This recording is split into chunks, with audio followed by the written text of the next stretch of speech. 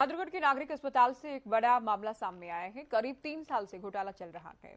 दरअसल अस्पताल के डेटा एंट्री ऑपरेटर ने अपने माता पिता जीजा बहन और बाबा मामी को भी सिविल अस्पताल में कार्यरत दिखाया है, जबकि वो कभी अस्पताल नहीं आए। इस मामले का खुलासा हुआ तो बवाल मच गया के अस्पताल में आनंद फानंद में जाँच कमेटी का गठन किया जो मामले की जाँच करेगी। सिविल हॉस्पिटल में काफ़ी कुछ घोटाला है, ये भी कोई नया घोटाला नहीं है। ये पिछले चार पाँच साल से घोटाला चलाता, चलता आ रहा है। इस घोटाले में क्या है सर कि बहुत से कर्मचारी हैं जो ड्यूटी पे तो नहीं आते, लेकिन घर बैठे सैलरी लेती हैं।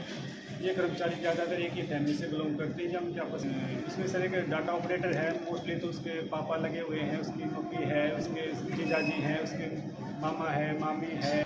हमें एक शिकायत प्राप्त हुई है, जिसमें एच के आर से संबंधित है। और उसके लिए हमने यहीं से एक कमेटी गठित कर दी है, जो भी जाँच में निकल के आएगा, उसके उसके उपरांत नियमानुसार कार्रवाई की जाएगी।